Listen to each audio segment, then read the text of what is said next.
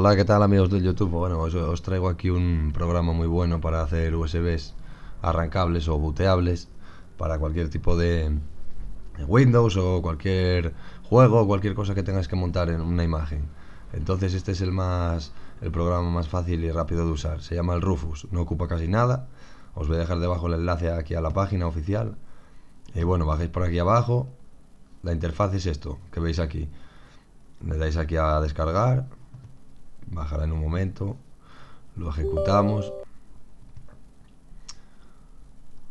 yo le doy a no que siempre. Bueno, lo primero que tenemos que hacer es tener metido un lápiz, como veis que aquí que tengo metido un lápiz de 16 gigas. Y luego aquí tenéis que elegir la imagen que queréis meter en el lápiz. Que en este caso, bueno, voy a poner yo esta que tenía aquí descargada, para que lo veáis de Windows 10.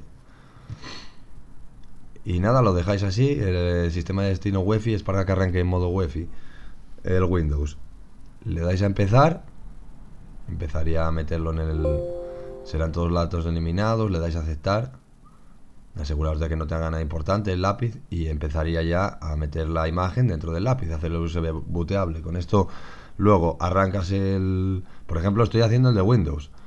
Vale para muchas más cosas, pero el de Windows, por ejemplo, sería para formatear un ordenador. Lo metes en el lápiz, lo, lo boteas y luego arrancas el ordenador desde el lápiz y ahí te instalaría ya el Windows, la imagen, o bueno, sirve para miles de cosas, el High Boot o cualquier otra cosa.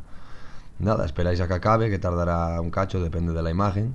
Esta ocupa unos 5 gigas o 6 me parece, así que tardará un poquitín. Cuando acabéis, le deis a finalizar y ya estaría.